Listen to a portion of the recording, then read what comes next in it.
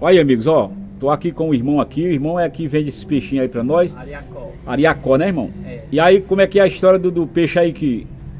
Não, do São Francisco? É.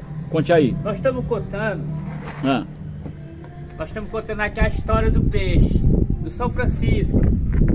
Pescador, foi uma promessa. Pescador vivia pescando e nada ele conseguia pescar. E viu os companheiros tudo pescando um peixezinho e ele nada de pescar nada.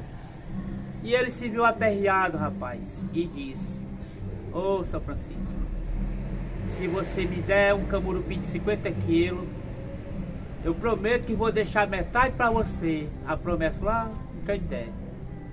Não demorou muito tempo, o camurupi bateu na linha. E o camurupi deu logo foi um salto, logo para animar o caboclo. Aí disse, rapaz, o camurupi tá na tua linha, puxa o peixe. E lá vem, lá vem o peixe, lá vem o peixe. Quando chegou perto, Caba pegou o arpão e tam, arpoou o camurupi.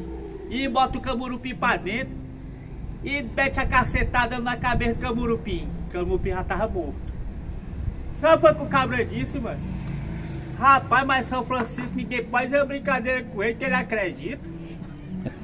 Pois na mesma hora o camurupi ficou vivo, pulou na água e foi embora. bem feito. Bem feito o castigo que ele levou. Essa é a história do camurupi e do São Francisco. É, Que o pescador contou. Beleza. Até hoje irmão. ela existe, viu? É, beleza. É. Tá aí, gostei. Então, prazer contar a história do camurupi, viu? Ah, beleza, irmão. Beleza, bom dia.